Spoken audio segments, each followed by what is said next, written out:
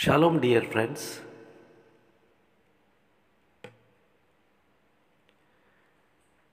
Shalom షాలోమ్ shalom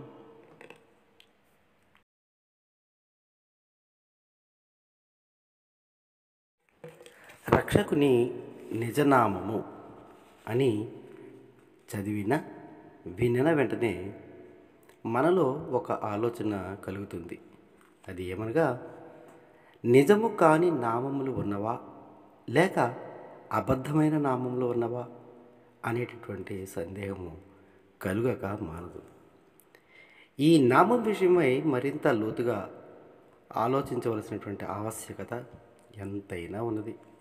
ఎలా అనగా ఆదిమ హిబ్రూ భాష అయిన హీబ్రూ భాష నుండి ఇతర భాషలలోనికి తర్జుమా చేసిన సమయంలో కొన్ని పొరపాట్లు జరిగినవి. ఇలా జరుగునని సృష్టికర్తకు ముందుగానే తెలియను కనుక ప్రవక్తల ద్వారా ప్రవచించుట జరిగినది. అందులో ప్రధానమైనది ఆయన పేరు. ఈ పేరు విషయమై పూర్ణ హృదయంతో వివేచన చేయవలసినటువంటి బాధ్యత మనందరిపైన ఉన్నది. సామెతల గ్రంథం ముప్పైవ అధ్యాయం నాలుగవ వాక్యం. ఆకాశమునకు ఎక్కి మరల దిగువాడెవడు? తన పిడికిళ్ళతో గాలిని పట్టుకున్నవాడెవడు? బట్టలో నీళ్ళు మూట కట్టినవాడెవడు భూమి యొక్క దిక్కులన్నిటినీ స్థాపించిన వాడెవడు ఆయన పేరేమో ఆయన కుమారుని పేరేమో నీకు తెలిసి ఉన్నదా? ఈ వాక్యం ద్వారా మానవులను ఆయన ప్రశ్నించుచున్నాడు. లేక ఛాలెంజ్ చేయిచూ ఉన్నాడు. ఆకాశమునకు మనము ఎక్కగలమా? దిగగలమా? ఎవరికైనా చేతనగునా? ఎవరికి అది అసాధ్యం? పిడికలతో గాలిని ఎవరు బంధించగలరు? ఇది కూడా అసాధ్యమే. బట్టలో నీళ్ళు మూటకట్టలమా అంతకంటే అసాధ్యం. ఓ మానవులారా ఇవన్నీ మీరు చేయజాలరు మీ వలన కానేరు కనీసం ఈ భూమి ఆకాశములు దిక్కులను స్థాపించిన వారి పేరైనా తెలుసా? ఆయన కుమారుని పేరైనా నీకు తెలిసి ఉన్నదా? అనగానే ఎవరికి తెలియదు కనుక ఆయన ప్రశ్నించుచున్నాడు. పైన ఉదహరించినటువంటి లేక ప్రశ్నించినటువంటివి మీరు ఏ విధముగా చేయలేరు కానీ కనీసం నా పేరైనా నా కుమారుని పేరైనా కనుగొనండి. హీబ్రూ సామెతల గ్రంథంలో ముప్పై అధ్యాయము నాలుగో వాక్యం مي الله شميم ويرد. مي أسف بخف نو مي سرد. ميم بشم الله. مي مي حكيم خال. يف شيء. رد مخشمو ومخشم بنوخي تتخفت ఈ నామము విషయములో ప్రప్రథమంగా ప్రవక్త అయిన మోషే ద్వారా తెలియపరచబడింది. ఆదాం వద్ద నుంచి మోషే వరకు రామారమి రెండు వేల ఐదు వందల సంవత్సరములు ఎల్లోహిం అని పిలిచేవారు. అనగా తెలుగులో తర్జుమా చేయబడినటువంటి మాట దేవుడు అని మనకు తెలుగు భాషలో తర్జుమా చేయబడింది. ఇజ్రాయేలీలను ఐగుప్తు బానిస జీవితము నుండి విముక్తి కలిగించిన సందర్భంలో మనము నిర్గమకాండము మూడు పద్నాలుగు నందు చదవగలము. అందుకు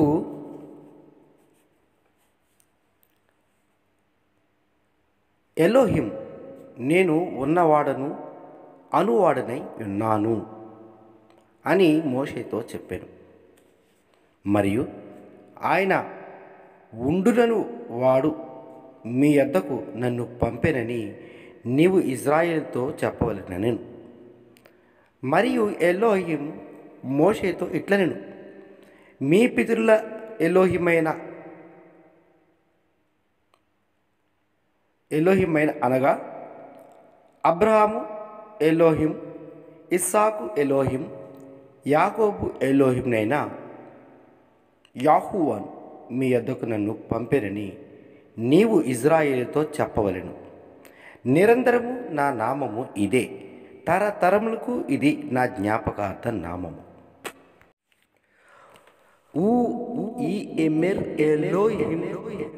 ఎల్ మోషే ఏ హయ్యి హయ్యి ఎషేర్ ఏ హయ్యి హయ్యి ఉ ఇయమెర్ ఖో تو امر لبني اسرائيل ఏ హయ్యి శలాఖని ఎల్లక్యం ఉన్నవాడను అనువాడినై ఉన్నాను. అనే పదమును ఏ విధముగా మనము అర్థం చేసుకోగలవాడు? ఉదాహరణకు ఒక కుటుంబంలో భార్యాభర్తలు ఉన్నారు. ఆమె భర్త జీవనోపాధి నిమిత్తము తన గృహమును విడిచి బయటకు వెళ్ళాడు అనుకుందాం సాయంత్రం అతడు తన పని ముగించుకుని గృహమునకు చేరుకున్నాడు. అతని గృహము తలుపులు మూసివేయబడి ఉన్నందున బయట నుండి తలుపును తట్టి ఉన్నాడు లోపల ఉన్న తన భార్య ఎవరు అని ప్రశ్నించినప్పుడు వెలుపల ఉన్న ఆమె భర్త నేను. అని చెప్పినప్పుడు లోపల ఉన్న అతని భార్య తన భర్త నేను అనే శబ్దంని విని వెంటనే తలుపులు తెరచుడు. నేను అని అంటామే కానీ మన పేరు చెప్పము. అనగా నేను అనే శబ్దము జీవముతో ఉన్న శబ్దము. అదే మాదిరిగా సర్వోన్నతుడు శబ్దమునై ఉన్నాడు. నిరంతరము తరతరములు తరతరములకు ఆయన నామము. ఏకవచనము ఒకటే పేరు. ఒక్క కలిగి ఉన్నాడు. ఆ విధముగా ఎందుకు మోషేకు చెప్పిను? సర్వోన్నతుడికి రూపము లేదు కనుక. మానవ ఆకృతిలాగే ఉండును కానీ ఎలాంటి రూపము లేదు. రూపము ఉన్న ఉన్న వాటికే మనము పేర్లు ఏ విధంగా పెట్టుకుందాము. అలాగే ఆయనకు రూపము లేదు కానీ ఒక శబ్దమును వాక్కునై ఉన్నాడు. కావున నేను ఉన్నవాడను అనువాడనై ఉన్నాను అని చెప్పాను. హిబ్రూ భాషలో యహ్వహగా ప్రవక్తల కాలమందు పిలువబడినది. ఇది హీబ్రూ భాషలో ఆయన పేరు అయి ఉన్నది హీబ్రూ భాషను కుడి నుండి ఎడమకు చదువుట వ్రాయుట వారి భాషా విధానము. మొదటి అక్షరము పేరు యోద్ రెండవ అక్షరము హే మూడో అక్షరము వావ్ నాలుగో అక్షరము హే కలిపి చదువుగా యహువా. ఈ యొక్క నామము ఏదైతే ఉన్నదో ఆ నామము పెదవులతో కానీ అంగిటతో కానీ నాలుకతో కానీ కలిపి మాట్లాడ పలకవలసినటువంటి పదముగా లేనందున గర్భనాభి నుంచి వచ్చేటటువంటి ఆ జిహ్వము ఏదైతే గాలి ఉన్నదో ఆ జిహ్వముతో ఈ హువ్వ పెదవి కానీ నాలుక కానీ అంటుకొనకుండా గర్భం నుంచి వచ్చేటటువంటి ఒక గాలి శబ్దంతో వచ్చేటటువంటి పేరు ఏమిటి? యహువా. హీబ్రూ భాషలో ఉన్న మొత్తం ఇరవై రెండు అక్షరాలు హచ్చు అక్షరములు మాత్రమే. హల్లు అక్షరములు లేకపోవట చేత చదువుట రాయట చదువుట కొంతవరకు కష్టతరమై ఉన్నను. ఇది పరలోక సంబంధ సంబంధులము అనుకొను. వారు ఈ భాషను మాట్లాడుట ఎంతో అవసరమై ఉన్నది. అది కాక ఈ భాష పరలోకపు తండ్రి భాష అయి ఉన్నది. ప్రస్తుత కాలంలో వాడబడుతున్న భాష యొక్క లిపి అయి ఉన్నది ఇది మోడర్న్ హెబ్రూ భాష అయి మోషే కాలమందు లిపి వేరుగా ఉన్నది. అది ఆదిమ భాష అయి ఉన్నది ఆ లిపి మనము చూచుచున్నాము. ఫిక్టోగ్రఫీ అక్షరములుగా ఉండబడినవిని చరిత్రకారులు చరి చెప్పుచూ ఉన్నారు. ఈ చిత్రంలో మీరు గమనించగలరు. ఇది పురాతన హిబ్రూ భాష అయింది. పురాతన హిబ్రూ భాష పిక్టోగ్రఫీ అక్షరములు. యహ్వహ్ ఇంగ్లీష్లో వైహెచ్ డబ్ల్యూహెచ్గా వారు ఇంగ్లీష్ భాష వారు వైహెచ్ డబ్ల్యూహెచ్గా గుర్తించిరి. మన తెలుగులో యహ్వహ్ అని చెప్పేసి మనము పిలువగలము. ఆయన ఒకరే ఆయనకు పేరు ఒకటే. ఆ ఆ నామము యహ్వహ్ ఈ నామము గురించి మనము ఇంకొన్ని మాటలు తెలుసుకొనవలసి ఉన్నది. ఈ జీవ గ్రంథం నుంచి మూడు సాక్ష్యములు మనకు అవసరమై ఉన్నది. ఈ మూడు వాక్యములు ఆయన యొక్క నామ విషయంలో మరి ఆ సాక్ష్యముగా మరి ఏ విధముగా చెప్పుచున్నావో దాన్ని గ్రహించవలసి ఉన్నది. మొట్టమొదటి సాక్ష్యము నిర్గమ కాండము ఇరవయో అధ్యాయము ఏడవ ఏడవ వాక్యమును మనము చదవగలము. చదవగలము చదవగలము షమో షమో ఇరవై ఇరవై లో తిష్ యత్ షేమ్ యహూవా ఎలోహక లే ఎషవా కి లో ఎన్నే కెహే యహూవా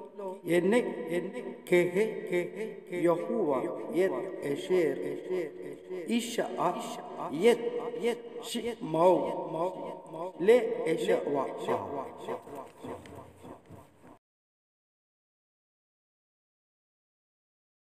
ఇది ఆజ్ఞలలో మూడవ ఆజ్ఞగా ఇవ్వబడినది. నీ ఎలోహ్యం అయిన యహువ నామమును వ్యర్థముగా నుచ్చరించకూడదు ఆయన నామము యహువ. ఈ నామమును వ్యర్థముగా ఉచ్చరించరాదని చెప్పబడుచు ఉన్నది. వ్యర్థముగా ఉచ్చరించు వానిని నిర్దోషిగా ఎంచడు అని వ్రాయబడిన. ఇక్కడ నామము అనగా ఏకవచనము అనగా ఒక్క పేరు మాత్రమే అని మనము గమనించవలసి ఉన్నది. ఏమాత్రము అక్షరదోషమున్నను ఉచ్చారణ దోషముతో పలికినను దోషిగా ఎంచబడదు అనే భావము కలిగి ఉన్నది. గత కాలములలో తర్జుమాదారులు యాహ్వాకు బదులుగా లాద్ అనియు గాడ్ అనియు అదునాయ్ అనియు యహోవా అనియు జెహోవా అనియు యావా అనియు ఇలా అనేక పేర్లతో ఉచ్చారణ దోషములతోనూ మార్పులు జరిగించి ఉన్నారు ఆయన నామంను వ్యర్థముగా ఉచ్చరించిరి. ఆయన చేత మనము సృష్టించబడితిమి. మనము మన ఆయుష్ అరవది లేక డెబ్బది సంవత్సరములు మాత్రమే. మరి ఆయన నిరంతరము జీవించి ఉన్నవాడు. ఆయనను మానవులు సృష్టించగలరా? ఆయనకు పేరును సృష్టించుట క్షేమదాయకమా? తరచుగా విని పేర్లు యెహోవా లేక యావే. ఇవి ఎక్కువగా వాడుకలో ఉన్నవి. ఏది ఏమైనాను?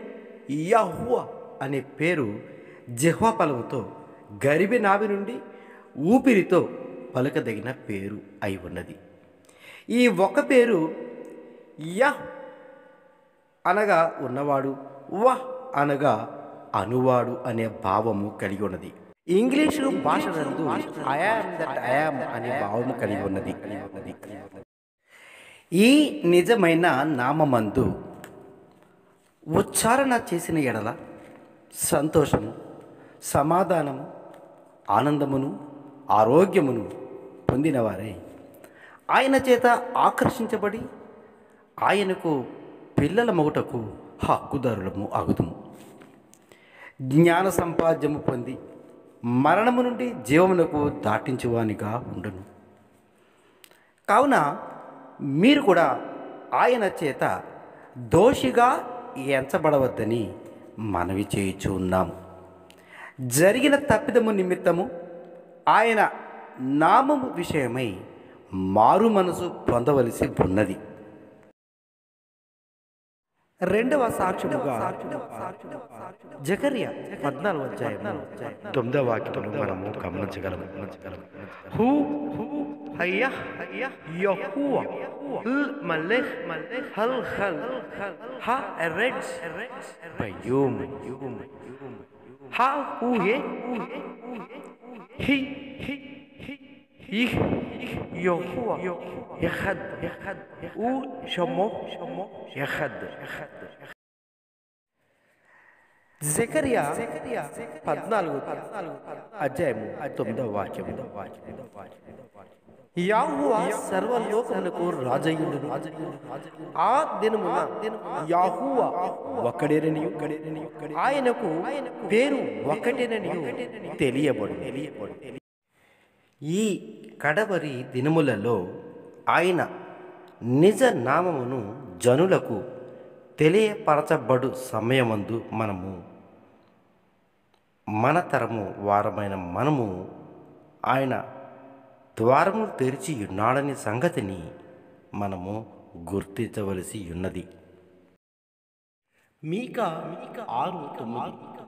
ఆలకించుడి యాహువా పట్టణమునకు ప్రకటన చేయుచున్నాడు. జ్ఞానము గలవాడు నీ నామమును లక్ష్యపెట్టును. శిక్షణ గురించిన వార్తను శిక్షను నిర్ణయించిన వారిని గురించిన వార్తను ఆలకించుడి.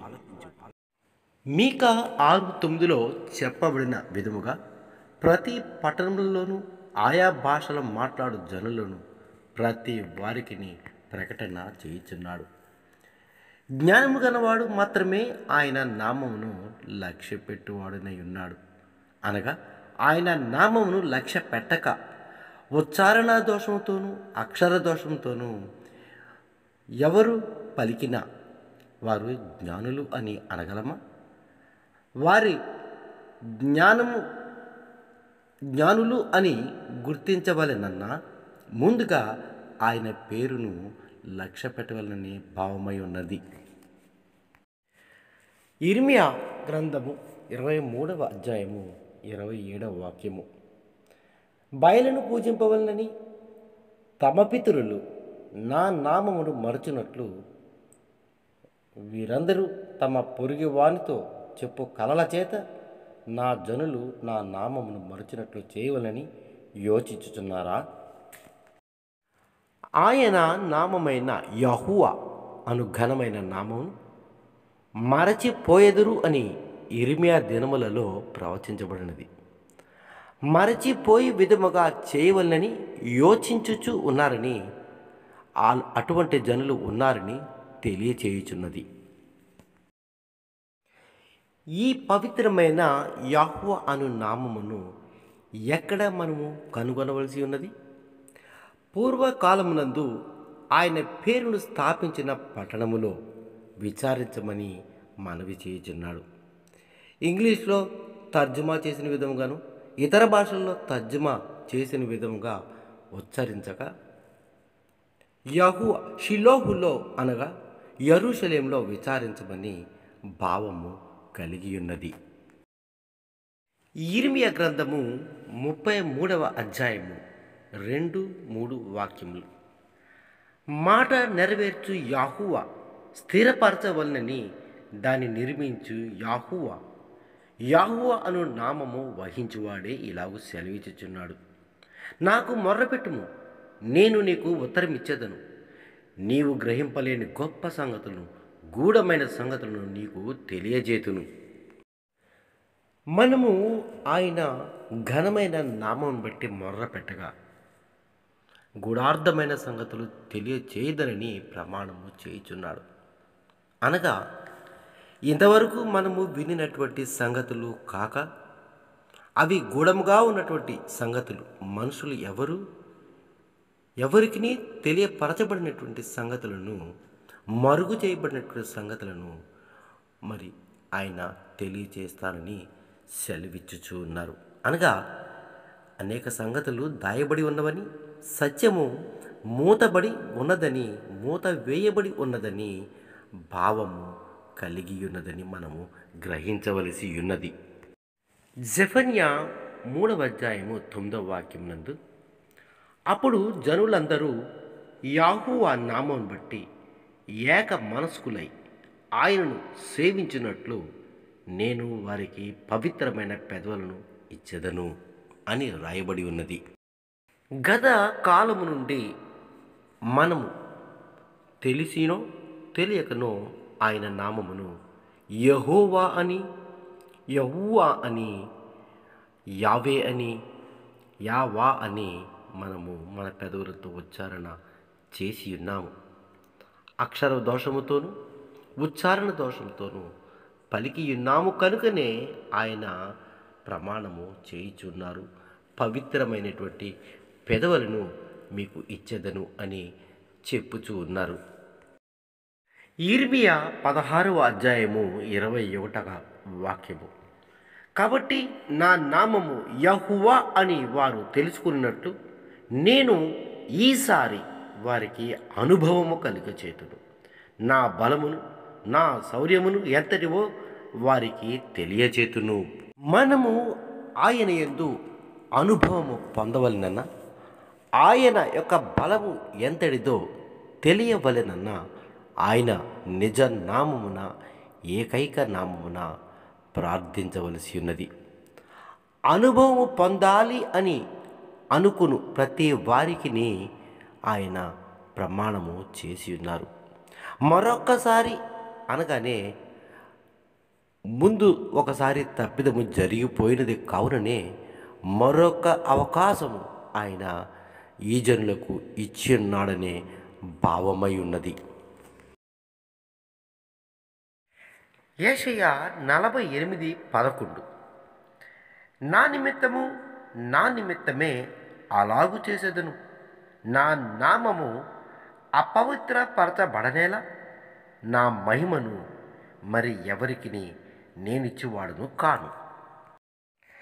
ఆయన ఘనమైన నామమును పవిత్రమైన నామమును అపవిత్రపరచు విధముగా ఎవరు పూనుకొని ఉన్నారు ఎవరు ఆ నామమును అపవిత్రపరచు విధముగా మరి జనులకు నేర్పియున్నారు అనే సంగతిని మనము తెలుసుకొనవలసి ఉన్నది.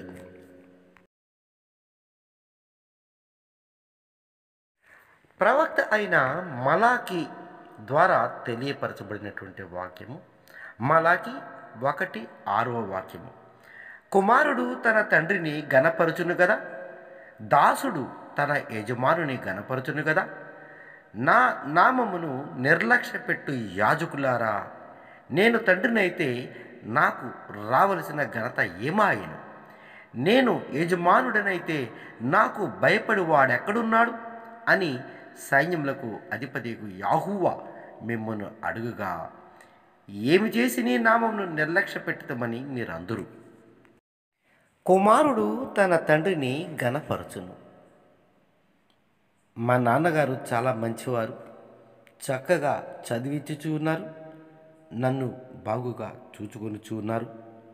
అని పిల్లలు తమ తమ తల్లిదండ్రులను గణపరచుట మనము చూచుచూ ఉంటాం. అదేవిధముగా దాసుడు తన యజమానిని గణపరచుట మనము చూచెదము. నా యజమాని చక్కని జీతము ఇచ్చుచున్నాడు. నాకు అవసరమగు యోగక్షేమములు నా యజమాని తీరుస్తూ ఉన్నాడు అని గణపరచుట మనము ఈ భూమిపై ఉన్న వారిని మనం గమనించగలం. నిజముగా ఈ భూమిపై ఉన్న వారినే ఇంత ఘనపరిస్తే క- ఘనపరిచిన మనము ఇంక ఎంతగా ఆయనను ఘనపరచవలసి ఉన్నది? ఈ భూమి ఎందు మనము నివాసము చేయిచు ఉన్నాము. గాలి నీరు వెలుగు భూమి ఆకాశము ఈ సమస్తమును ఇచ్చి మనలను సృష్టికర్త అయినటువంటి యాహువా మనల్ని పోషించు ఉన్నాడు. మనము ఈ నామమును నిర్లక్ష్యము చేయబడుటకు గల కారణములు ఎవరు? అనగా ఈ నామమును నిర్లక్ష్యపెట్టు వారిలో ప్రప్రథముగా యాజకులై ఉన్నారు.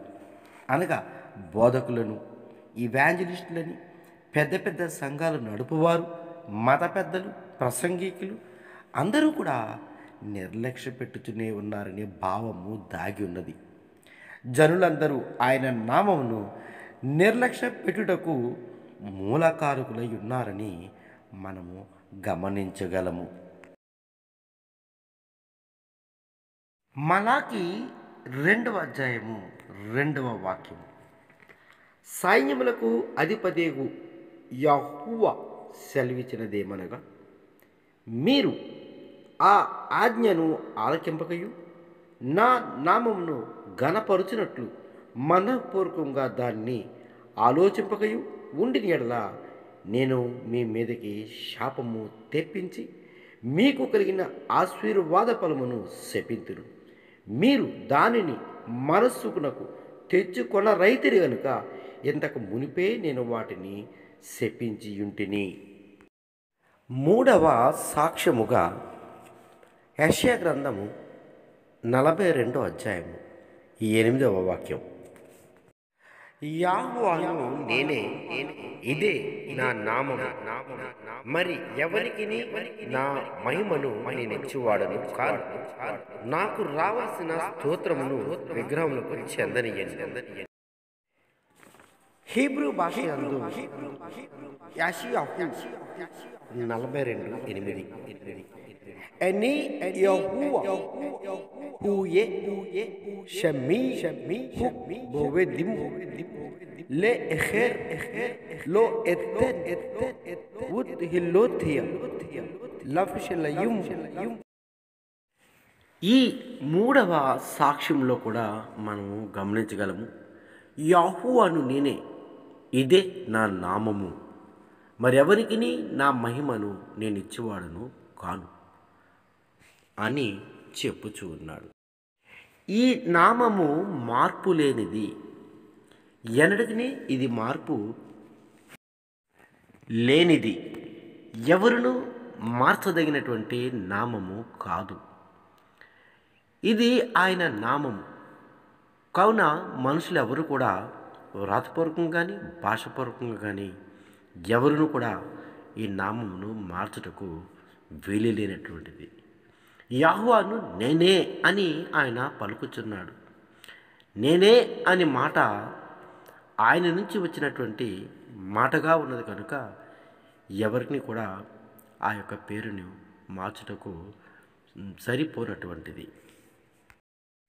హూషయ పన్నెండవ ఐదవ వాక్యం యాహ్వా అని సైన్యములకు అధిపతి యాహ్వా అని ఆయనకు జ్ఞాపకార్థ నామం మనము చదువుచున్న గ్రంథములో యాహ్వా అని తర్జుమా చేయుట చేతను. బోధకులు మనకు ఆ విధముగానే తర్ఫీదు ఇవ్వటము చేతను. అలవాటు పడిపోయి ఉన్నాం ఈ అంతిమ దినములలో నిజ నామము జ్ఞాపన జ్ఞాపకమునకు తెచ్చుకొనదగిన నామమును యాహువా అను నామమును ఉచ్చరించుటకు ఆయన యొద్ద నుండి అనుమతి లభించి ఉన్నది. కాబట్టి మనము ఆయన తట్టు తిరగవలసిన సమయము ముగియక మునిపే ఆయన నామమును లక్ష్య పెట్టవలను ప్రతి సమయమందును ఆయన నామము జ్ఞాపకార్థముగా ఉండదగినటువంటి నామము. ఇర్మియా గ్రంథము పద్నాలుగో అధ్యాయము పద్నాలుగవ వాక్యము ఈ విధముగా చెప్పబడి ఉన్నది. యాహ్వా నాతో ఇట్ల నేను ప్రవక్తలు నా నామం బట్టి అబద్ధములు ప్రకటించుచు ఉన్నారు. నేను వారిని పంపలేదు. వారికి ఆజ్ఞ ఇవ్వలేదు. వారితో మాట్లాడలేదు. వారు అసత్య దర్శనమును శకునమును మాయా తంత్రమును తమ హృదయమున పుట్టిన వంచనను ప్రకటన చేయుచున్నారు. అనేక దినములుగా ప్రవచించువారు అబద్ధమును ప్రకటించుచున్నారు. వారి హృదయమందు పుట్టిన వంచన జనులు యాహ్వా అని పిలవలేరేమో అని మార్పులు చేసి ఉన్నారు. యహోవా అని యావే అని యావా అని ఇలా అనేక విధములుగా మార్పులు జరిగించి ఉన్నారు. మనము అది గమనించవలసి ఉన్నది. ఆయన పంపక పోయినను లాభాక్షపరులై కీర్తిని కాంక్షించువారై అధిక ధనమును ఆశించువారై సత్యమును మరుగుపరిచి ఉన్నారని మనము తెలుసుకొనవలసి ఉన్నది. జకర్యా పదమూడవ అధ్యాయము తొమ్మిదవ వాక్యములో చెప్పబడినటువంటి మాట. ఆ మూడవ భాగమును నేను అగ్నిలో నుండి వెండిని తీసి శుభ్రపరిచినట్లు శుద్ధపరుతును. బంగారమును శోధించినట్లు వారిని శోధింతును. వారు నా నామమును బట్టి మొర్ర పెట్టగా నేను వారి మొర్రను ఆలకిద్దును వీరు నాజులని నేను చెప్పుదును. యాహ్వా మా ఎలోహిమని వారు చెప్పుదురు. జకర్య పదమూడు తొమ్మిదిలో చెప్పిన విధముగా జనులను నాలుగు భాగములుగా విభాగించి ఉన్నారని భావమై ఉన్నది. మూడవ భాగము నుండి ఆయన జనులను శోధించగా వచ్చడి వారే నాలుగవ భాగము వారు అయి ఉన్నారు.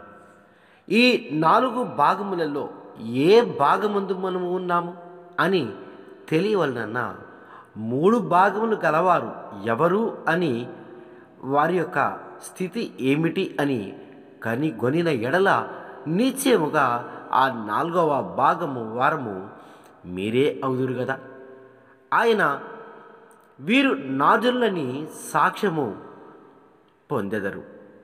ఆయన ద్వారానే మనము పొందవలసి ఉన్నది. ఇది ఎంతో గొప్ప భాగ్యమును ఎంతో అనుభవమును. యాహ్వా నామమును బట్టే ఇది కలుగును కానీ అది ఏ మనిషి వలనను అది ఏ మనిషి యొక్క సాక్ష్యం వలనను కలిగడిది కాదని మనము నిశ్చయముగా గ్రహించవలసి ఉన్నది. అంతిమముగా ఆయన నామము యహువా అని మనము తెలుసుకొని ఉన్నాము. ఆయన నామమును తప్పు తర్జుమా చేయుట చేతను మనము తప్పుగా ఉచ్చరించుచున్నాము. అంటే మనము ఇంకను శాపములోనే ఉన్నామని గ్రహించవలసి ఉన్నది. ఎవరును ఆశీర్వాదము పొందలేదని భావమై ఉన్నది. ఆయన మనలను ఆకర్షించవలనన్న ఆయన నామమును సరేగు ఉచ్చారణతో పలికిన ఎడల నామము వలన వచ్చిన శాపమును ఆయన నామము ద్వారా ఆయన ద్వారా మరి పొందినటువంటి ఆ యొక్క శాపమును తొలగించబడి ఆకర్షించబడి ఆయన కుమారుని యొద్దకు చేర్చబడదము. ఆయన కుమారుని నామమును ఒప్పుకొని ఎడల విమోచన రక్షణ పొందేదము.